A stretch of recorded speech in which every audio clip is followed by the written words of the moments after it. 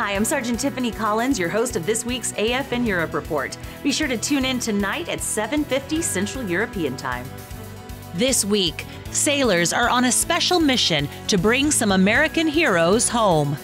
The Air Force and Army team up to train with their Italian counterparts.